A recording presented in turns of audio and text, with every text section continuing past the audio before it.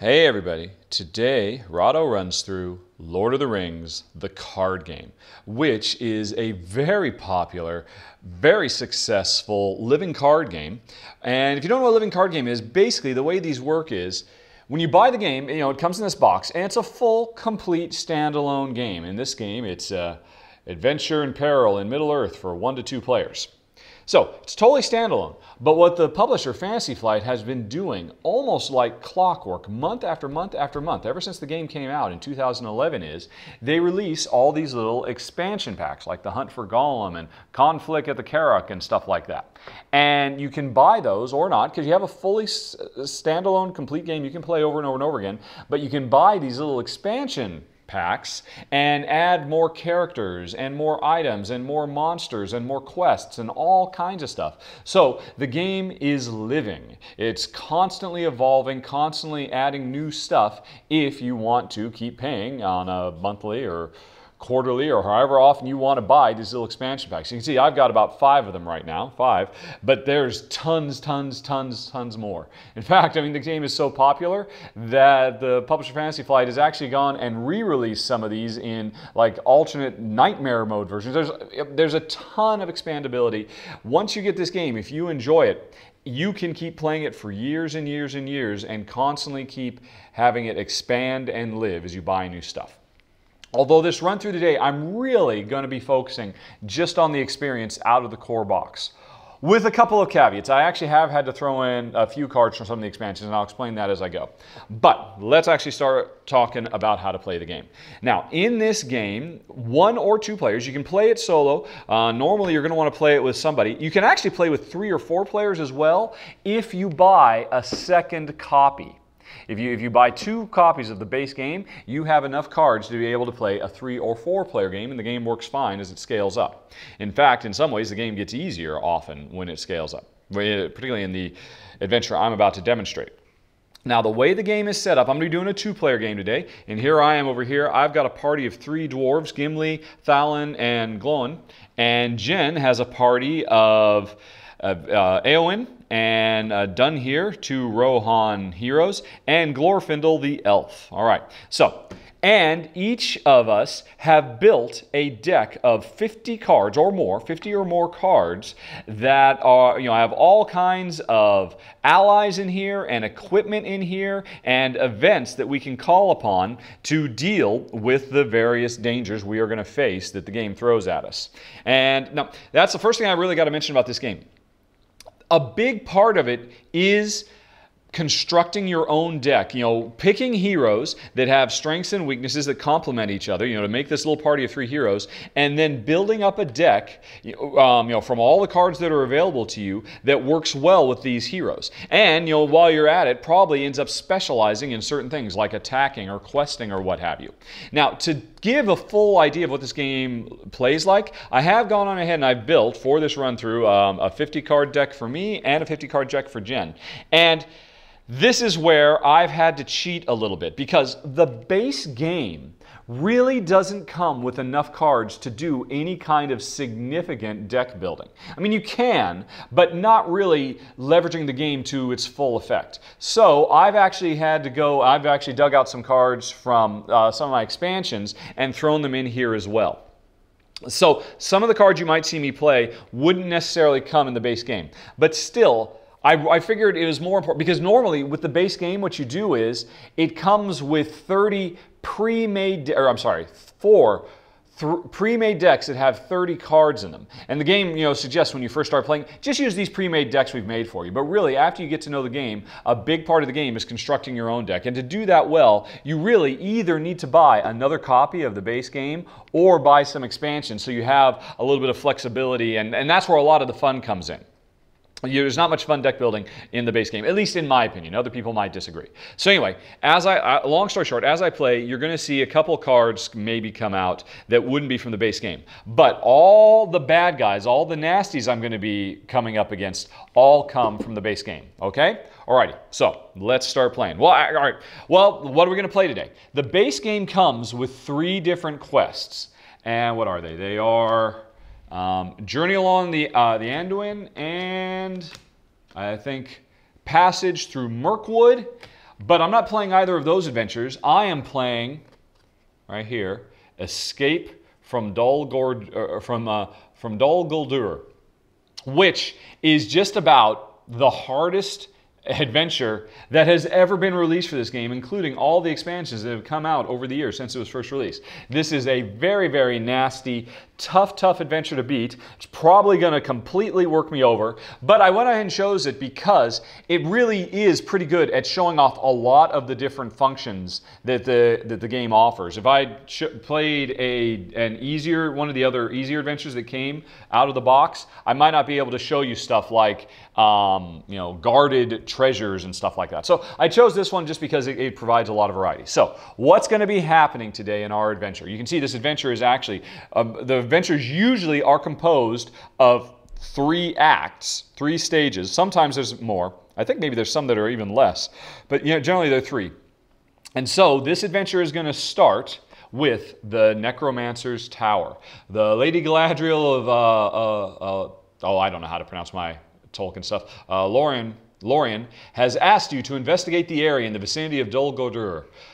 While doing so, one of your allies was ambushed by orcs, captured, and is now held in the dungeon cell. So now that is the beginning of our adventure. And so we'll have to deal with this card, at which point we deal with Act 2, um, which is through the caverns, and then finally Act 3, out of the dungeons. So that's the situation we're in. And by the way, I guess I should say spoiler alerts, but this is not a huge story-centric game. So uh, maybe I, I, don't, and also I don't think I'm going to get very far into this adventure. So you're pro- I, maybe in the extended I'll make it if I get lucky through to the second act. We'll see how it goes. But anyway, so there's definitely some setup that has to be done here. Search the encounter deck for the three objective cards and place them in the staging area. Also place the Nazgul of Dol Guldur face up out of play alongside the quest deck. Then shuffle the encounter deck and attach one encounter to each objective card. Now I've already done that ahead of time. These are the three objectives. Although actually, before any of this stuff happened, this is the encounter encounter deck. Um, so when I chose this adventure, the first thing I had to do is I had to look at these icons over here, which show the, uh, um, that the encounter deck is comprised of three types of cards. Dol Guldur cards, spider cards, and orc cards. That's what these three icons are. So the game comes with tons of different uh, enemy encounter, uh, you know, uh, uh treachery cards and they all have different icons on them. Like, you know, this is, uh, you know, one of the wilderness cards, and, and over here's, you know, there's a bunch of different cards. And from all these enemy nasty cards, I was supposed to take all the ones that have these three icons, shuffle them up, and make an encounter deck, which I've already done. And then after I did that, this thing points out, hey, take out the three objective cards that came from the Dol Guldur deck, which I've done, which is the Dungeon Torch, Gandalf's Map, and the Shadow Key. So pull them out and also pull out kind of the boss Nazgul of Dol Guldur, uh, pull him out as well. And now, these three um, objective cards are what we are trying to find because we need Gandalf's map and we need the Shadow Key and we need the Dungeon Torch to be able to get out of here alive. But these things aren't just sitting around. We have to go and win them. So that's why it says, um, right, uh, place the objectives, place them in the staging area, shuffle the encounter deck, which I've done, and then place one encounter on each uh, objective card. So I place an encounter on this, and it is the Endless Caverns, which is a dungeon. And, um, oh, and what do you know? Doomed, Surge 1. So that means Doomed is an effect that whenever a Doomed card comes into play, we have to increase our threat. So we started at 29, which I'll talk about in a second, but now we have to bump up to 30. Uh, one-handed filming. All right. So that's of, we're doomed. We've got we um, because this threat counter is uh, basically a ticking time bomb for us. When we hit 50, we lose because we're so threatening that Sauron himself will come out and uh, you know wipe us out or something like that. So. And it's a surge, which means we're going to have to draw one additional card, unfortunately. But anyway, I'll keep on putting these out. So Gandalf's map is guarded, is somewhere at the tower gate. All right? And the shadow key is Okay, it is guarded by a cavern guardian and doomed one. Okay, great. We have to increase our threat yet again. So now we're up to 31. That's not a good start. But like I said, this uh, you know the game takes no quarters. And remember, because of the surge, I have to draw one additional one, and so it is the uh, Necromancer's Reach. Oh, and this is a Treachery card. Now there are three types of cards in the bad guy deck: locations that we can travel to, enemies that we could fight, and treacheries that just pretty much hit us right away. So this treachery, the Necromancer's Reach, hits us right now. When revealed, deal one damage to each exhausted character.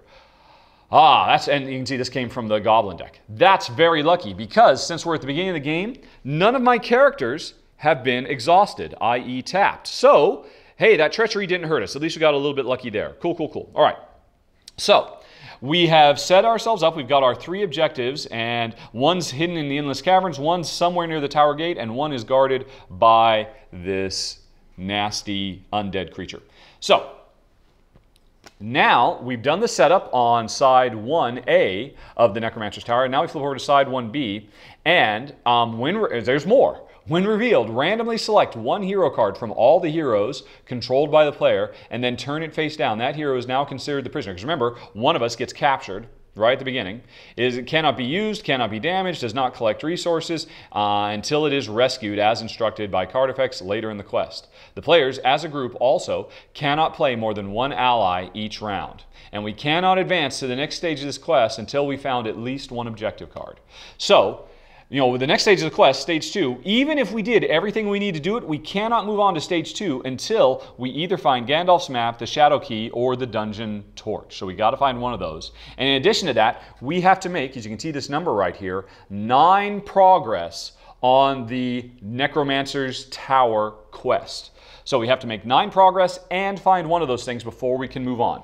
That's a, and we are limited because we have to lose somebody. Now let's see randomly. Uh, eeny, meeny, miny, mo. Catch a tiger by the toe. If he hollers, let him go. Eeny, meeny, miny, mo. Okay, sorry, Dunhere. You've been captured. So unfortunately, one of Jen's three heroes is already gone. That is making things even worse. Okay, and we can only summon one ally per turn, which is even worse because we've already lost one of our core heroes. That's the situation we find ourselves in. And now, let's see if we can rescue Dunhere, the Rohan um, horseman, warrior, and get out alive. Okay, so the game is set up.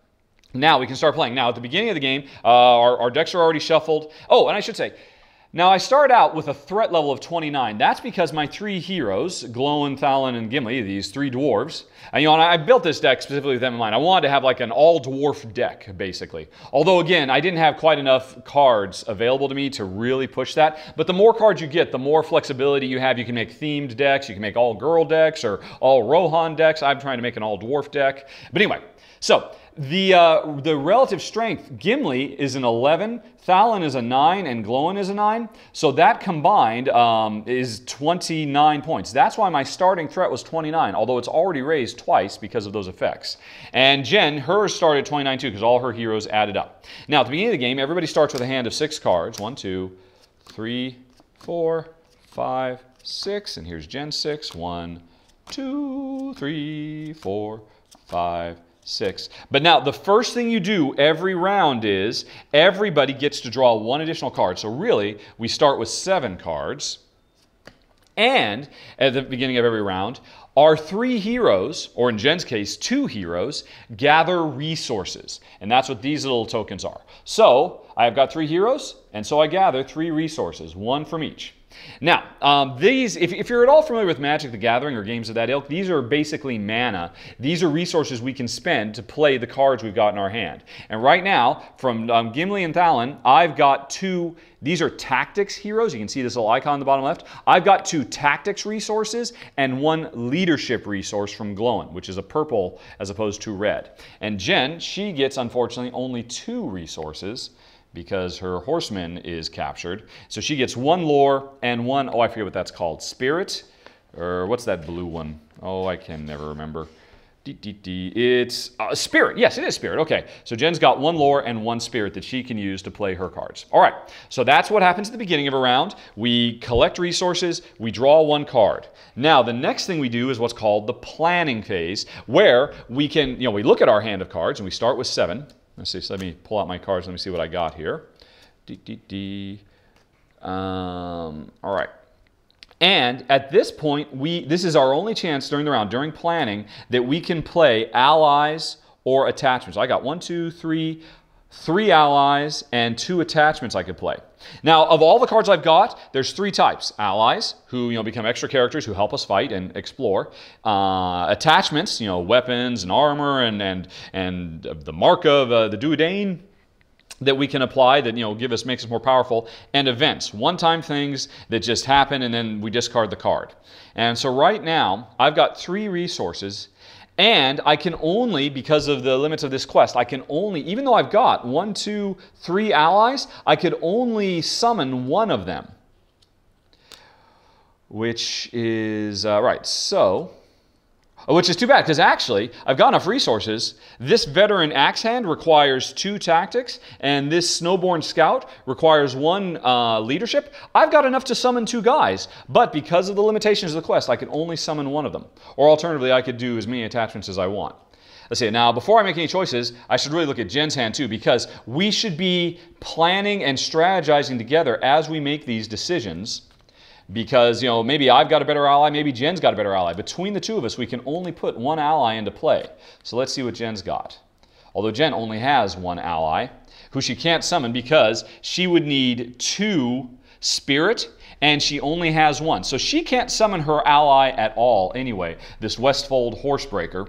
So it's going to be me who summons an ally. So let's see, which one should I summon? Because we really should get some out. Um, because the more allies we have, the better chance we got. So I can't do the horseback archer because I would need three tactics, and right now I've only got two. But over the game, more and more of my resources can add up. So I can save up to do him later. Let's see, after, right, so the scout, the scout's got a cool one. He's a really weak character. He has no, um, oh, I can never remember what all the names of the icons are. What, willpower. He has no willpower, no offense, and he only has one defense. But he has a special ability. When he gets summoned, he automatic or you know he automatically places one progress token um, on one of the locations. And you can see there's two locations. We have to explore these locations to find Gandalf's map and the Endless Caverns. Wow. In fact, if I summon him, he could immediately. Um, Right, to explore Tower Gate, we only need to make one progress. You can see the little one there. So if I summon him, we could, yeah, that's pretty cool. I'm going to pay, right, so he's the guy I'm going to summon. So he needs one leadership, which is what Glóin provides. So Glóin's one leadership is going to be spent, and we're going to summon the Rohan Scout. Okay, which again, you know, if, if, if I had more cards, I might have wanted to make a Rohan deck, you know, and put Éowyn and you know and put the Rohans together. But again, I don't have quite enough cards to make really thematically strong decks. So there's going to be a lot of mixing and matching. But anyway, so I paid my one resource, and there is a response here. After Snowbourn Scout enters play, choose a location, place one progress on that location. These are little progress tokens. There's two locations in play, the Endless Caverns, which requires three progress. You can see right there, it requires three progress to beat. And the Tower Gate, which requires one. Boom. We just finished the Tower Gate. The Tower Gate is done. We didn't even have to explore it because the scout went out and did it for us. Good job, buddy. And by getting rid of this now, hey, you know, we, we don't have to worry about this traveling effect. If we had traveled to the Tower Gate ourselves, um, you know, we would have we would have basically run into uh, um, some orcs that we would have to fight. But since the scout went and did it for us, boom, that's gone. And we now can find Gandalf's map. And remember, that's one, this is actually starting out pretty well. That's one of the things we need to do. We need to get one of these three objectives, and then we need to do nine progress before we can move on. So Gandalf's map is available to us. How do we get it? Ray, anybody can raise their threat by two to claim this objective when it's free of encounters. The scout just took care of that for us. When claim, attach Gandalf's map to a hero that you control. Counts as an attachment. Um, and the but here's the thing. This is the downside to Gandalf's map. The hero we give this to cannot attack or defend at all. But we do need to get that map. Let's see. Now, my let's see. And let's see, can I give this to any character? So I could give this to, uh, let's see. Yeah, sometimes you can only give them to heroes, I think, when attach. Or no, no. Right, yeah, okay, this has to go to a hero. So, I think we're going to go ahead and find anyway. The scout went out, cleared that out. Boom, we're going to get the map. Now, to take this, we have to raise, whoever takes this raises their threat by two. I'm going to give it to Jen, which raises her threat from 31 to 33. And remember, when somebody hits 50, they are eliminated from the game. And I'm going to give this to Gandalf's map to Éowyn because she's not a particularly good attacker or defender anyway. She only has one attack and one defense. She's really good though. She has a high, high willpower, which means she's great at completing, um, you know, exploring and completing quests. So it just is a perfect fit for her to give her the map. And now she can no longer attack or defend. But that's okay because I was almost never going to have her attack or defend anyway. She was always going to be exploring because of her high willpower. Okay, so now remember, we're still in the planning phase where we get to play allies and attachments. I've played an ally, and I can't play anymore because of the special rules, but I could still play attachments. Let's see here. And I've got two attachments to choose from here. The Blade of Gondolin and the Dudain Mark. Again, my apologies for mispronouncing uh, Tolkien words here, Tolkien text. So if I give, I can attach this mark only to a hero. Okay, both these can only go to a hero. The attached hero gains one um, attack, and if I ever want, I can move this mark from one character to another by paying more money. So I can give this temporarily to a hero and then give it to somebody else, or I could give somebody the Blade of Gondolin. Now they both cost one. Oh wait, no, actually the mark costs one leadership. I've used my leadership to summon him, so I can't play the mark anyway. But I could spend one resource of tactics to put out the Blade of Gondolin, which I think I'll do. So attach it to a hero, restrict it. And now I could attach it to any of my heroes or any of Jen's heroes. I could give this to Jen and put it, say, here on Glorfindel. Now, whichever character gets this, gets plus one attack when fighting orcs specifically. And that's a good thing because we're going to be running into a lot of orcs. This tower gate, if we'd had to explore it, we would have run into orcs. And whoever gets this gets plus one when attacking orcs. And also, uh, let's see. After the attached hero attacks and destroys an enemy, place one progress token on the current quest. So the Blade of Glorfindel automatically, by beating um, monsters, uh, lets us make progress on our core quest. That's really awesome. So who should I give this to? I should give this to somebody who's going to fight orcs a lot. And that's, pro- let's see, my best warrior is definitely Gimli. That's why he costs, he's, he's an 11 as opposed to a 9 like Thalin. So I'm going to give, but I could give it to Glorfindel as well. Glorfindel is an awesome, awesome fighter. Three attack right off the gate until Gimli um, powers up. Glorfindel is our most powerful warrior we have available to us. But he also has a very high willpower, which means he's very, very good for exploring as well. So I think I will go on ahead and give this to Gimli because just as a general rule, Gimli's probably going to be um, are, are more re- readily involved, more more often involved in fights because he only has a willpower of two. He probably won't be spending as much time exploring. So I've just given him the blade of, what was it? The blade of Gondolin. All right. By the way, this is a restricted item. Any character can um, have no more than two restricted items on them. All right. So now I've still got one more resource. I can't, I can't do my other attachment, but I've also got these events. I could play events if I wanted. Although uh, I say I can't play this one because this requires leadership. I've already used my leadership. I could play Blade Mastery, which means I can choose a character until the end of the phase. That character gets plus one offense and defense. So I might want to save that in case I get tr- into trouble in combat. Now Jen, she, let's see, she she drew one attachment, self-preservation which requires a lore, which Glorfindel has. So Jen could put this attachment on somebody. Self preservation is basically attached to a character, and as an action, you can exhaust self preservation and heal two points of damage from that character. So, this is a great way to heal. But now, here's the interesting thing G- Gimli, the more damage he takes, the more damage he does. So, I don't necessarily want him to get healed up. But Glóin is interesting because every time he suffers damage, he basically gathers leadership resources. So, actually, the self-preservation, like, I'm going to go ahead and pay a lore token from Glorfindel to put self-preservation on Glóin. And then from now on, anytime Glóin gets hit by anybody and suffers damage, he will basically harvest resources so he can play more cards and afterwards, with self preservation, he can heal himself. See, Gimli, I don't want to heal him because I want him to be hurt because the more hurt he is, the more effective a warrior he is. That's his special power. All right, so now Jen's still got one resource worth of spirit. And let's see, so she could play Stand and Fight. She could play A Light in the Dark. No, that one's too expensive. Uh, oh, the Dwarven Tomb. Uh, so Jen could return a card from her discard pile. Let's see. Although she also has strength of will. If you travel to a location, exhaust a spirit character, which in this case would be Éowyn, and have two progress immediately placed on that location. So that's pretty handy. Oh, and this one doesn't even cost anything. So I think Jen's going to save this resource. She's not going to use it right now. She'll save it for, for something later. So we have now finished the quest phase. Or I'm sorry, no, the planning phase. We're all done planning. We're not going to play any more. and that's it. For the rest of this round, we cannot play attachments or allies. Now, we move on to the quest phase. All right, and the quest phase is when we can take our heroes and characters and commit them to working on the quest of the Necromancer's Tower. Remember, we need to produce nine progress.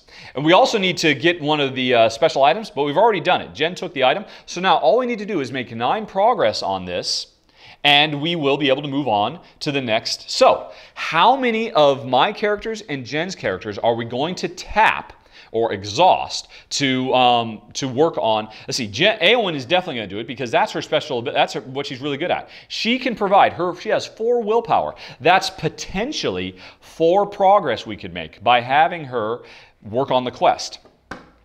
Now the interesting thing is Thalin, my, one of my warriors, he has a cool thing that when he commits to a quest, he deals one damage to every enemy that's revealed by the encounter deck. So I think he'll commit to it as well. He only has one willpower. He's not that great at it, but because he's committed to the quest, whenever bad guys come out, they'll instantly take a point of damage. And heck, maybe if we get lucky, they'll just get killed before they even bother us. So I'll commit him. So that means right now we have committed five total willpower towards making progress, but we need to do nine total. Now we could commit more. Um, I don't want to commit Gimli because he's a good fighter. see, I could commit Glóin, but um, let's see. Now, currently, there is only one bad guy we know about, this undead who uh, does two points of damage and has two hit points. And he's going to, well, he, uh, he's going to come for somebody. He's going to attack one of us a little bit later in the round. Let's see. So if I have him come over here, he'll be able to do, you know what? What the heck? Let's go on ahead. Let's let's go in for a penny, in for a pound. Let's push hard. Huh. In fact, yeah, let's commit everybody. Everybody is going to commit to try to push. Uh, so Glorfindel with his three willpower, Éowyn with her four, Glóin with his two, and Thalin with his one. So that what was it? That's seven, eight, nine, ten. We are committing ten willpower worth to the quest of the Necromancer's Tower, trying to find our way to the Necromancer's Tower. Unfortunately, we've already got the map, so that's going to help. So we've committed them. They are tapped. That means for the remainder of this round, they are not going to be able to defend in combat or attack in combat. They're all exhausted. But I have left the Scout and Gimli. These guys are still available to get in combat if we run into trouble later. Okay, so after you commit your forces, um, then we, uh, we draw encounter cards because you know, we've committed our forces, now the forces of evil will commit their forces. You have to draw one encounter card per player in the game. We got two players, so we're going to draw two more encounters, and we get Dol Guldur Orcs, which, when revealed, the first player, that's me, I've got the first player marker, chooses one character currently committed to a quest, deal two damage to that character. Wow, okay. Well, I'll go ahead and make it Glóin. So Glóin just took two points of damage. But um, whenever he suffers damage, add one resource to his resource pool for each point of damage. So he just, you know, he took it on the chin and he just got two resources as well. And now the interesting thing is, because he's got the, what do you call it, the self-preservation, exhaust self-preservation to heal two damage on attached characters. So I'll go ahead and tap that now and he'll just heal those points right back. So that's not too bad. Pretty happy about that. So this was the first card we drew, the Dol Guldur Orcs. And when revealed, they did that. Well, that actually worked out okay. And now we got to draw a second one, and it is the Great Forest Web, uh, which, is a which doesn't have any special effects when it comes out. Okay, but it's a place we can travel and explore. All right, so now we committed our forces. The um, Sauron committed his forces, and now we find out how well did we actually do in our attempt to make progress. So again, our total was three or four, seven. Um, what was it? Eight, nine. Was it ten? One, two, three, four, five, six, seven, eight, nine, ten. Ten total. Right. I thought I had 11, but I miscounted, obviously. So we have 10 total. Let's see here. And what we now have to do is we have to subtract from um, our willpower the threat produced by all of these dark forces that are in what's called the staging area.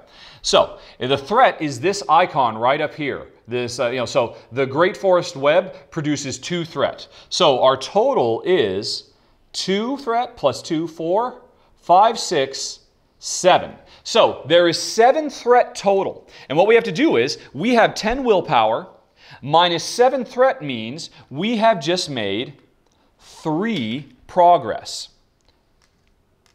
Three progress of the nine total we have to do. So that's the thing. When you're committing your forces, you don't know what Sauron's going to commit. You might commit forces, and then Sauron ends up pulling out cards that are, so threatening that you end up not making any progress at all. So that could be a very dangerous thing. But now here's the interesting thing. If we hadn't committed any forces at all, all this threat the, um, was it, the 2 plus 2 plus 2 plus 1, 2, uh, 4, 6, 7, that would have been threat that we would have had to absorb on our dials and we would have been that much closer. So there's this delicate balancing act that's happening throughout the game. You're always having to explore, explore, explore. And even if you don't have a chance of successfully exploring because there's so many threat out there, you need to explore anyway just to keep the threat down because when our threat token when our threat meters go to 50, we instantly get removed, you know, kicked out of the game. So, now, now, there's one other thing that's going on here. Eowyn has a special power, action. I can discard one card from my hand, and actually all players can do this, to give Eowyn plus one willpower until the end of the phase. So now, if we want, both Jen could discard a card, I could discard a card, and we would add two more willpower and get five progress made. We should definitely do that. So I think we're both going to discard a card. Although that gets into, well, what do we want to discard? Let's see, Jen's got two stand and fights. I think she'll get rid of one of them. So that upped her Eowyn's willpower. So that's an additional success. And what am I going to get rid of? Well, I want all my things. Now, the horseback archer is expensive. It's going to take a while before I get three resources, although not necessarily. In fact, actually, I could get him out next turn because if I don't use this on Gimli, I'll get two more, so I'll have three. But I've got the veteran axe hand, I've got campfire tales, and I've got blade mastery. Those are all good things. The Blade Mastery can help me out if I get into combat and run into trouble. But right now, you know what? I think I'm doing so well. You know, Gimli, um, I, got, I got my ally out. But remember, I can only put out one ally per turn. The interesting thing about the horseback archer, he, um, you know, both these guys have two offense and one defense, but this guy costs one more because he's got a special power of ranged. And what that means is normally my guys can only fight people who have come over and attack my guys. But a ranged character can actually fight people who are attacking my party or can shoot at the bad guys who are attacking Jen. And Jen's in a bit of trouble. Jen has pretty much no defense. But all her characters are busy exploring, so they can't attack or defend themselves. So I think because of that, we definitely need this archer. So I'm going to go ahead and discard the veteran axe hand and save up for the archer instead. And that means one more progress. So we have done five of the nine progress we need to do to the Necromancer Tower. Okay. And so we have now finished the quest phase. Next, we move on to the travel phase, and then we the encounter combat phase, and we're done with the first round. But wow, we're 33 minutes in, and I'm about halfway through the first round. You know what? I think this is actually a pretty good place to stop because you guys have seen about half of the stuff. Um, we were doing adventures, but now, next up, we're going to travel, where we have the option, if we want to, to travel to the Endless Caverns or the Great Forest Web. Because if we travel to these, like, um, you know, if, if we travel to the Great Forest Web, that means we're, we're, here. We have to deal with whatever, you know, um, when we travel here, each player must exhaust one hero he controls, but we take this threat off the board. So now there's less threat preventing us from being able to make progress in our questing phase. So it's always a good idea to take to travel to places and clear them out so we can make more progress later. But you know what? If you want to see the travel phase, if you want to see combat where we've got some orcs and some undead we could kill, you can hit the button that's on screen or follow the show notes and go to the extended play where I'll keep playing. And at the very least, I'll finish this first round and probably do some of the second round as well. Alternatively, you can hit the other button and go straight to final thoughts. Your choice in five, four, three, two, one.